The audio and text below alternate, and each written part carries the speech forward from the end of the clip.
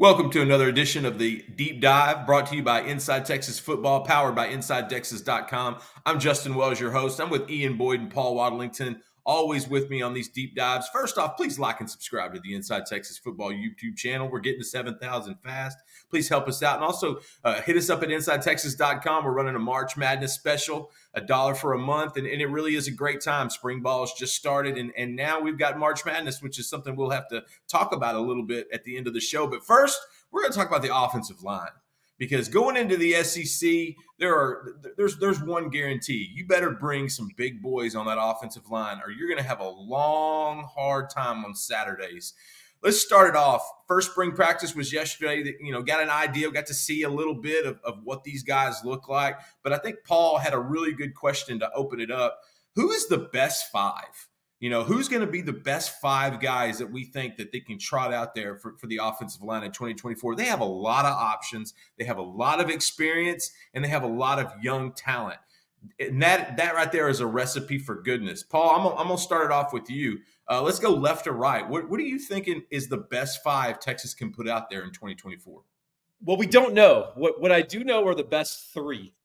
And then I think go. the best five will be determined around that nucleus. So starting from left to right, uh, Kelvin Banks ain't going anywhere. And then I think you've got Jake Majors, who has secured his position and he's incredibly experienced at center. Yeah. Uh, a pulling center, by the way, a guy who's got a, a pretty good acumen at, at moving and, and, blocking in zone, and also even just being a puller, which is great, which is really a great way to free up your run blocking schemes. And then finally, DJ Campbell. He really grew into the job after struggling early, uh, as he should. That's what young offensive linemen typically do. Kelvin Banks are yeah. unusual for a reason, right? DJ Campbell has had a good offseason. He's going to have an even better uh, spring and then and then early summer. And then I think you're going to see a really good DJ Campbell that Justin you've mentioned. This is a guy who legitimately thinks he might be able to go pro after this season if he if he tears it up. So that's your core 3.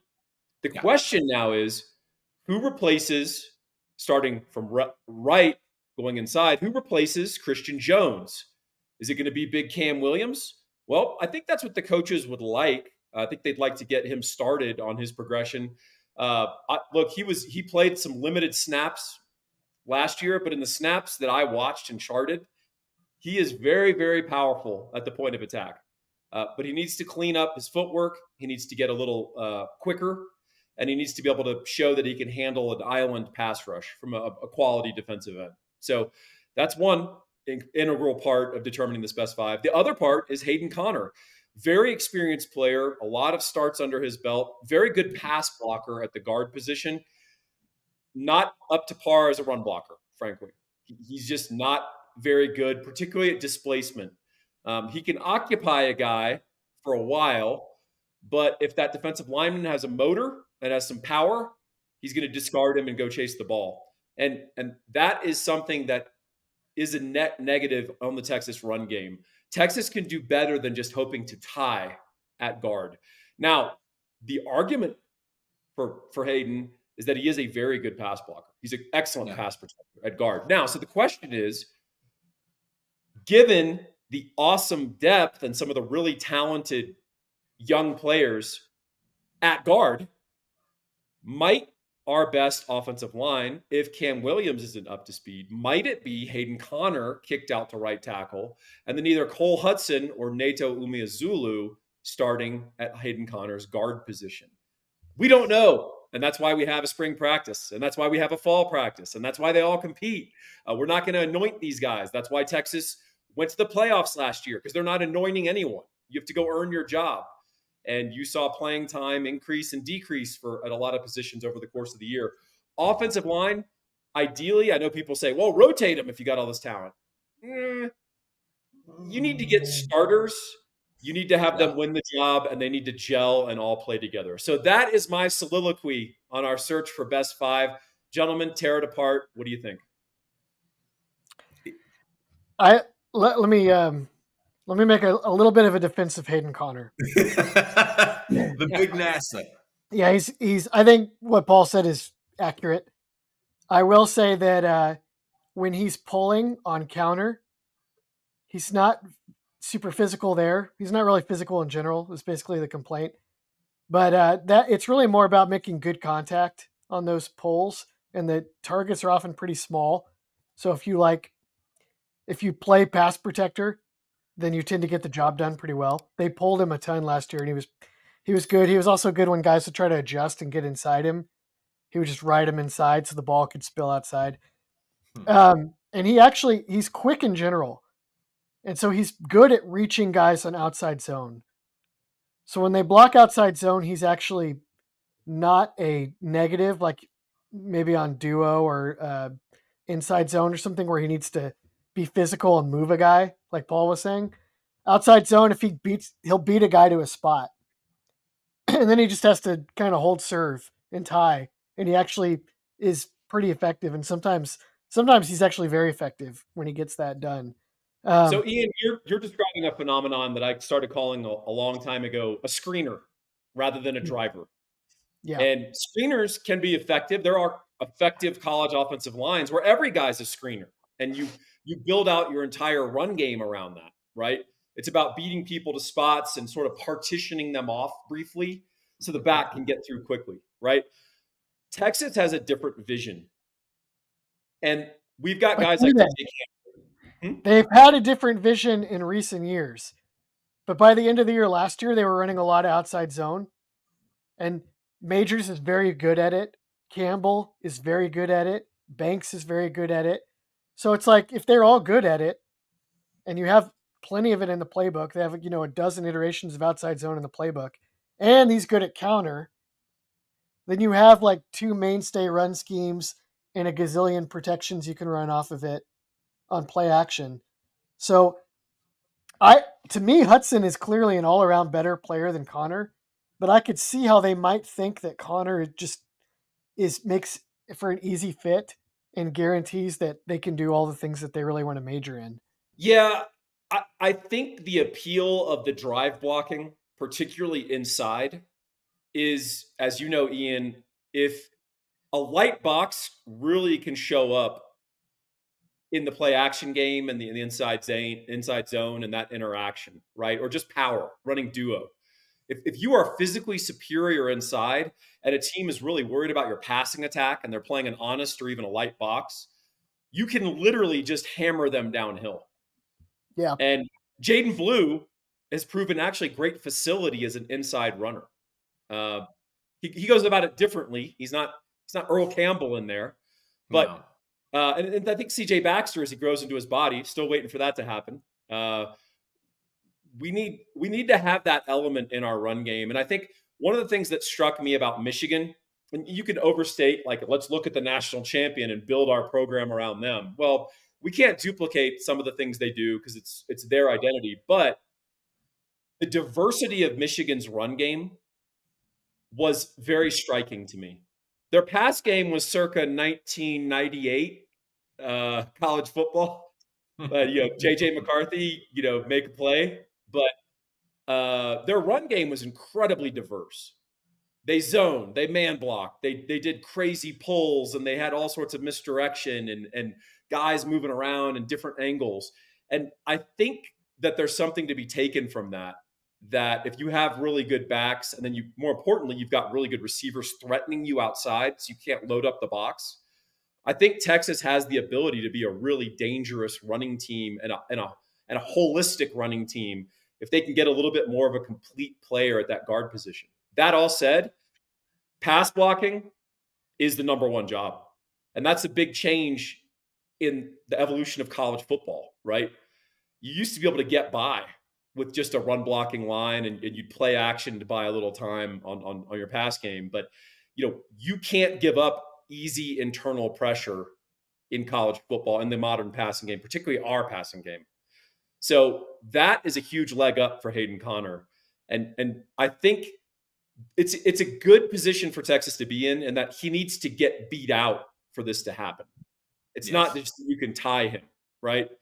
And then Cam Williams is sort of the other element. Hey, you talked about Cole Hudson being maybe the clear all-around better player. What about Neto Umeozulu? Isn't he the most athletic dude inside that we've got on the roster? Probably the most athletic. Yeah. Inside. Inside, yes. Yes. I let, let me say one more thing for Hudson again to to bolster your point actually before we talk about those guys. Goal line. Goal line is where, you know, Texas was weak last year and Hudson makes a difference over Yep. Conner. Um yeah, Net- Neto I thought that like in the spring game last year, he didn't look very comfortable to me yet. Neither he nor Cam. Cam was really physical at guard in the spring game last year, but neither of them really looked very comfortable. So I figured that neither of them would end up um, breaking through. But Neto is, oof, I mean, it's kind of surprising to me that he hasn't repped any at tackle at Texas. So he must be really a plus athlete at guard. Um, we'll have to see, like the spring, how far along he's come with, you know, the rudimentary dimensions of guard play. But I think Paul, I think Paul made a great point about you can't get beat in the pass pass blocking game, especially in this day and age. And with these two quarterbacks, when you have a Quinn Ewers and an Arch Manning, the impetus is going to be protect those guys. You're taking you're looking at two future NFL early draft picks, and so Cam Williams, I think they want him. That's I, I don't want to say it's his job to lose, but I think that that's exactly what it is. They want him to go and take it. They want him to get a little bit of his weight down. They want to get his protections a little bit more crisp, and they want to, you know, he he get he does get beat on the speed rush on times, and so I know they want to do that. Hayden Conner is is going to be the guy that if he can't, he could slide in there and do that. One guy we mentioned in pre-production was Trevor Goosby. Now that's the redshirt freshman out of Melissa. He's he's the backup left tackle for Kelvin Banks. We kept hearing about Goosby last year because he was the one offensive lineman in that class that didn't come in the spring. He was the one guy that didn't enroll early, and he wound up being probably the one with the most upside. And you get to, we get to see him yesterday, and he looks fantastic. Everything we had heard and reported is accurate on that guy. This guy looks great, and so I think there's there's a there's a there's a scenario where he could get some run at right tackle, even though he's the backup to Kelvin Banks at left tackle right now. You mentioned Cole Hudson. Ideally, if this is going to be a if if the pass blocking is going to be the most important, it almost feels like Hayden Conner has to be at right tackle early on, and Cole Hudson has to be at left guard. Not to mention, Cole can also do different things. He can play center, he can play right guard. He's interchangeable. But I, Ian, who do you think gives them the best chance to win the SEC at right tackle in 2024? Well, Cam Williams, I think. I mean, he's just got the most up. His upside might be, you know, like early round draft pick eventually. Yeah. I don't think he's. I don't think he's there right now. Um, but like, man, get him comfortable at like 340, 330. I don't. I don't know exactly how how low. I don't think he's been 330 he's since ninth going to be. grade. He's always going to be big, right? But I um, saw him dunk as a 400 pounder. So, yeah. yeah. How, how much do you think he actually weighs now? Do you think 360? 365. I'd say Okay. 360, 360 ish range. I think Sadir's 370. And I think he's a, he's probably a, a couple buckets of chicken underneath Sadir. And so I'd say probably 360. I I think then like 350 or less would be good. Yeah. That would I that'd think that's ideal. You know Um, who he reminds me of, Ian? Uh, he reminds me of that. Yes, that run of Oklahoma tackles like Phil Loadholt, who were Yeah. just gigantic, not great pass protectors, but between Orlando their Brown. size, I mean, you couldn't bull rush them, right? And Yeah. you had to run around them, which in and of itself gives you a little bit of time, right? And also, they got pretty adept at holding and pretty, you know, the old Big 12 officiating just didn't really call it very often. So that, that allowed Phil Loadholt to grow into the job and actually get better at pass protection. Now, ideally, we'd want him to become Trent Williams, but uh, Trent Williams is his own unicorn, his own beast. Uh, he's Yeah. still the best tackle in, in probably the NFL. Uh, and he's he's a what 12 year veteran now or something ridiculous. But uh, I I think that's I mean his upside as a run blocker cannot be overstated. And when you have a guy out there at right tackle who can fold down an entire like cave down an entire part of the defensive line, that cuts off all the backside pursuit, right? And if your tight end can get out on the smalls in space, Jaydon Blue's going for 70, y'all. Like it, it creates a massive big play running game potential.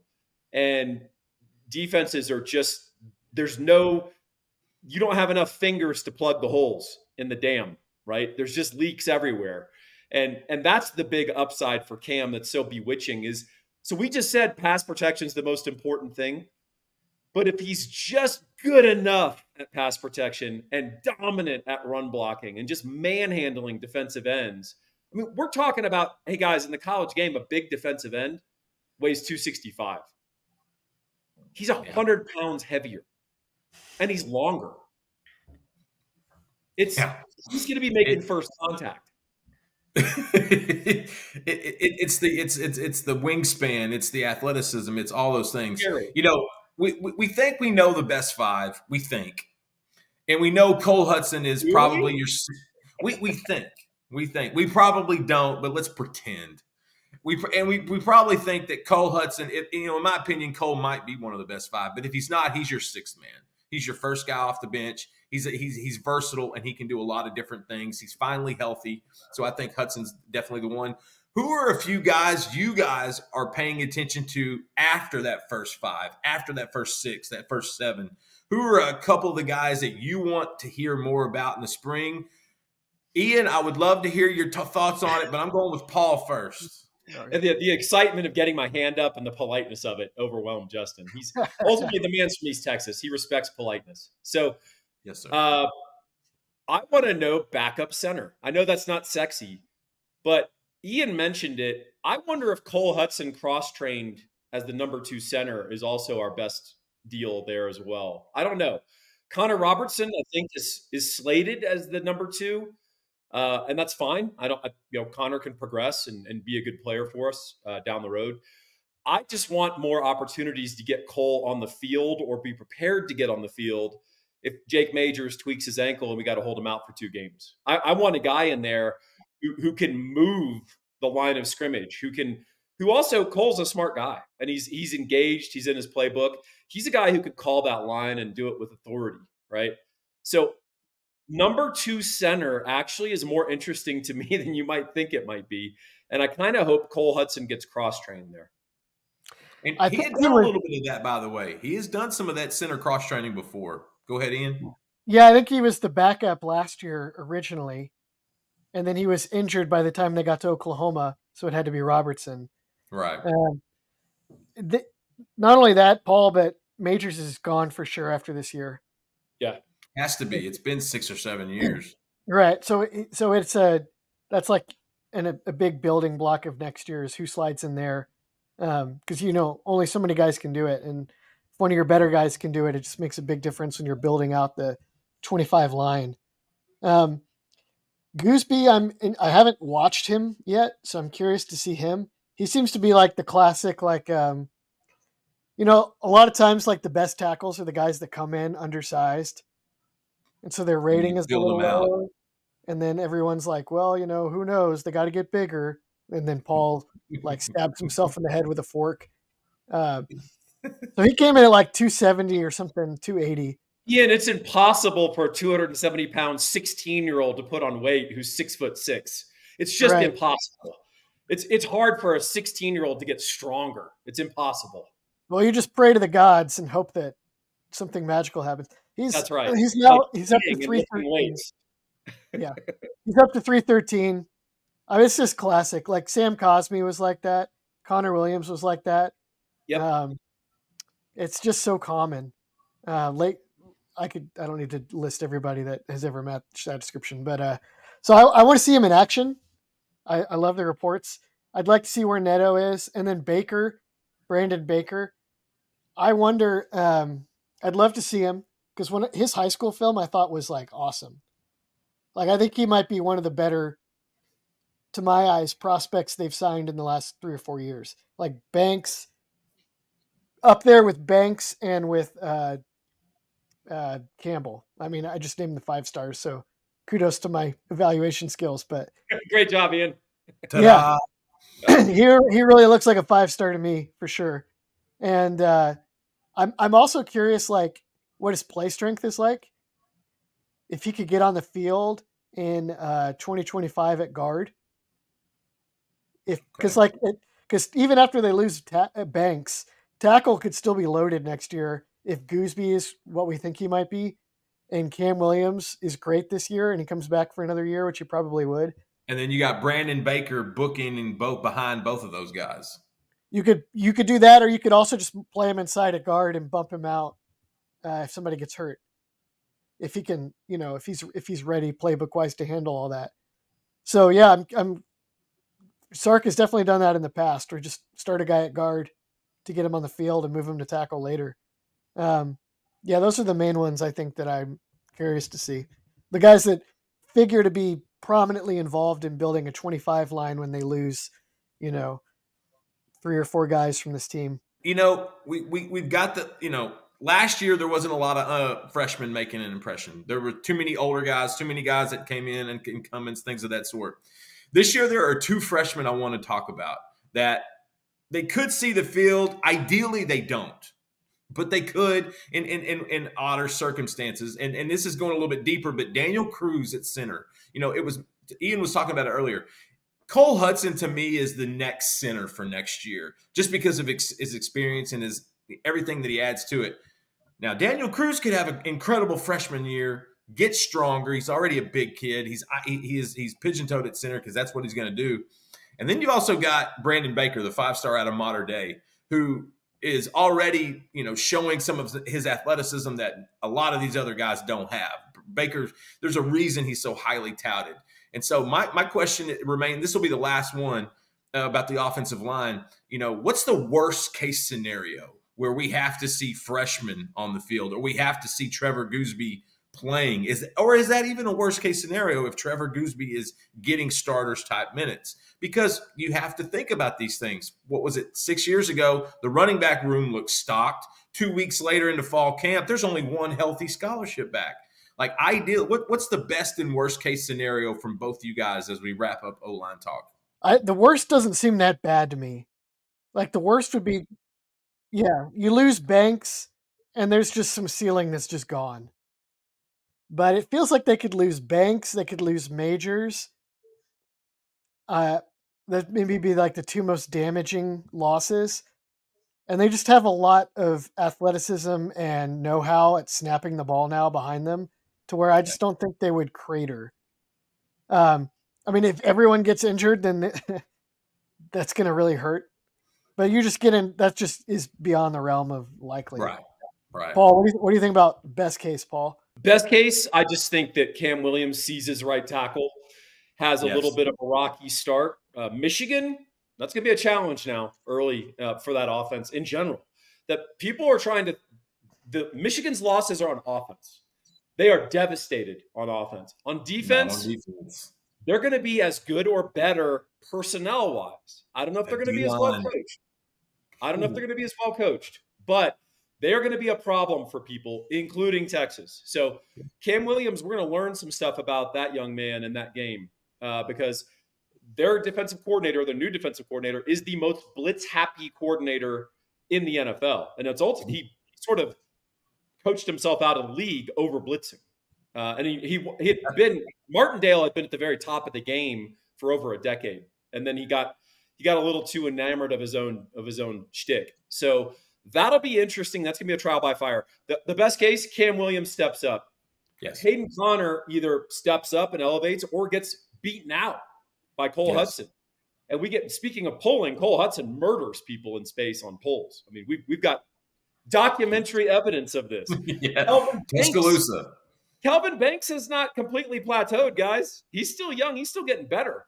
Uh, by the end of last season, he was a dominant run blocker when before he'd been okay or above average as a run blocker. He was murdering people. Uh, and then you can have a great progression from DJ Campbell, which should be expected, in fact. So the upside is everyone levels up that we're already counting on, and then some guys step up. And you end up at the end of the year, Texas is the best offensive line or the top three offensive line in the country. And that is achievable. It's absolutely achievable if everybody steps up. Yeah. You know, another guy that I think would be great on the O line is Andre the Lawyer. Anytime you're in trouble, he's going to protect you. He'll be your left tackle. He's got your backside. He's, he's, he's your blind side man. Andre the lawyer. Call him at 214 444 8808. He's located in Dallas, Texas. He helps everybody, including injured Longhorns, car wrecks, 18 wheeler accidents, on the job injuries, wrongful deaths. Andre the lawyer's the man. If you're ever in trouble, you're ever in a spot, that's the guy to protect you. Give him a call. Andre the lawyer, 214 444 8808 one more we got we got a few minutes left guys and we, are gonna we're gonna go ahead and get to it it's march madness and granted texas is a football school and we love football off season and in, in, in season but rodney terry and those boys were 10 minutes from a final four last year now i don't see that happening again at all but crazier things have happened last night colorado state beat virginia handedly to, to for that play-in game, and so now Texas faces Colorado State on Thursday. I believe it's Thursday in the evening. Paul and Ian, we were talking about it a little bit. What are your expectations there? And kind of Paul and I were talking about Virginia basketball and just uh, how how low that program has gone. Yeah, you had an amazing statistic, Justin. That Virginia, I, I don't want to bury it for you. Tell us, tell, drop this fact on us. Yeah, you know, I'm a big Bennett guy. I have been, especially after they'd been knocked out as a one seed, and he had basically had told his program, "Look, this is this is part of life. This is how you work." Since 2018, they have won six games in the NCAA tournament. It was every game in the 2019 season. They haven't won a tournament game before or since. That's a seven-year window. I mean, and you got to you got to think, how long does a guy keep his job? you want a natty, so you built up some collateral there, obviously, but you can't get out of the first round for the next five years. Like, guys, that's Virginia got in on reputation alone, but I was blown away by just the that that you win a national title and then you can't win another first round game in a seven year window. That that's it's crazy. It's nuts. Yeah. Hey, three, four things, quick things. One, Ian was concerned about Texas playing Virginia, and Virginia plays an incredibly weird, contrarian, slow down style that might affect us. Texas is at its most comfortable out and running, right? Run, Running, gunning, playing loose. Yeah. No worries about that. Virginia yeah. was as Virginia was terrible. I knew they were bad, and they're much worse than I thought. Uh, Colorado State had a great game plan for them. Tony Bennett is known for his defense. They spread them out they put the ball on the court and not their point guard. The star of the Colorado State team through the year was their point guard, who really did nothing in this game. They spread it out, gave it to secondary ball handlers, and said, attack the rim. And so they have a guy named Joel Scott, who's a, this is the kind of guy you get in the Mountain West and in college basketball. That's why you got to love it. Six seven, about 225, 230, older, physically strong, he averages about 13 a game at 57% shooting. How? He's got a handle. And he's 6'7, 230, and he's strong, and he faces up on people and he drives down to the basket and then has a little junk game in the paint, Justin. He's that dude at the rec league that scores with just nonsense and then he puts his big booty in you and gets space and goes up and gets a layup. That's what they did. That's what Joel Scott did to them over and over and over. Colorado State does not have a traditional big. They don't have a post. They've got multiple really guys. They've got yeah, it's true. We've got a so we've got a six foot point guard at Colorado State who runs the show, and then a bunch of guys who are six six six seven, spreading out the court and driving to the basket, and then of course they'll flip it out for the open three. So it's almost a Euro style of basketball. Uh, they despite what you saw holding Virginia to 42, that was about Virginia more than Colorado State. Colorado State does not defend very well if you're offensively gifted. uh, but they got a great matchup. And, and the, the margin of that game was 25 points. 25 points is getting your butt kicked in basketball. It did not fully express the degree to which Colorado State kicked their butt. Uh, it was they had 14 points at halftime. Virginia they had 16 points at the 15 minute mark of the game. So it was just awful basketball. The ACC, by the way, might be secretly terrible. So something to consider uh, when you're filling out your brackets. I like this matchup. Vegas has Colorado State as a two point dog. That's a tremendous amount of respect for the Mountain West, who got six teams in the tournament. we guys we saw San Diego State, a Mountain West team, play for the title last year. uh, playing a slowed down version of what Colorado State is older, mature, strong, physical guys spreading the court and attacking the basket. If Texas has a solution for that, whether it's our big boy inside or whether it's Disu or even Dillon Mitchell protecting the rim, it's going to have to be Mitchell. State, Colorado State's going to have real trouble uh, getting those easy buckets. The main thing Texas needs to do is use its size, uh, but not in a static way. Use the so- use Dylon Disu's size to get open three looks, to get open shots from 15 that Colorado State can't defend. You know, Joel Scott has a 22 inch vertical. He can't check this guy. Dylan Disu can get his shot off when he wants. And then when Texas can run, Texas needs to run, put the pedal to the metal, get Dillon Mitchell putting on a little dunk clinic, get guys like Hunter who have frustrating hit and miss. Whoa, uh, hit and miss. But the way to get him comfortable is to get the tempo up a little bit. So yeah. anyway, that's my my two cents. Uh, I'll, I'll throw it to you guys. Yeah, I got. I have a couple thoughts that I'd love to hear. Oh, well, hold on, hold on, hold on. Ian's got some basketball takes. Okay. All right. Um, let me get my seatbelt. First of all, Kyrie Irving. No, uh, we won't go there. Um, yeah, you don't want to. Hey, Ian, don't lose all your credibility in five seconds. Uh, glorified sixth man. Uh, so here's the thing I see with Texas. BYU brought that same style to the Big 12 this year. Uh, you know, spread pick and roll, tons of big, versatile guys playing outside in. And they gave Texas fits when I watched them play Texas. They gave some other teams problems too.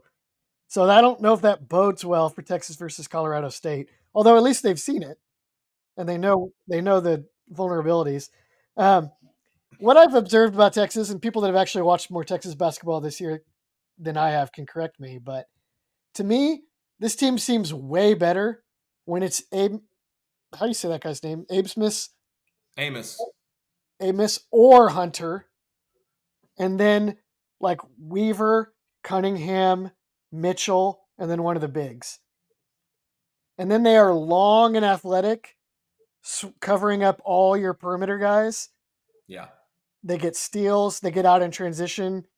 Weaver is dangerous in transition. Obviously, Mitchell Weaver is tremendous on ball defender, like Dogus Balbay style stuff, like Royal Ivey esque. Like Weaver is, I didn't realize how good of a defender he was.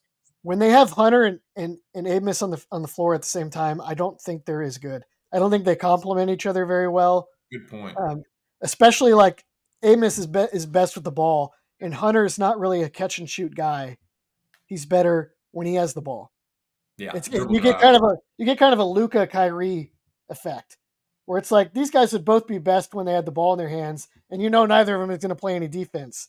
No. So it'd be better for Texas if I think if they switch that lineup, and uh, I don't know if they're going to do that. So they might. It ties into what Paul's talking about. Weaver is is part of that offense that goes. You just go because he's so explosive and so athletic. And and, and it's going to be interesting. Hey, Texas basketball is in the big dance. Listen, if they win a couple games here, if they win the first round, and the team beside them wins their first game, we're talking about a Rick Barnes Texas rematch in round two with Tennessee. Um, I, I, I think that makes for outstanding content and outstanding YouTubing. And it'll be good to watch. It'll be good. It'll be good for everybody. Everyone, thank you so much for joining us on this edition of the Deep Dive. Thank you so much, Ian Boyd and Paul Wadlington, always bringing it on the football side. Paul bringing some basketball stuff for us today as well. Ian attempting to. It was beautiful. Please like and subscribe to the Inside Texas Football YouTube channel. Come see us at InsideTexas.com. We got a ton more hot takes. You just got to come see it. It's a dollar for a month. Come hang out with us. We do appreciate you from uh, appreciate you guys for making us a part of your day, and thank you for being with us on the Inside Texas Football YouTube channel, powered by InsideTexas.com.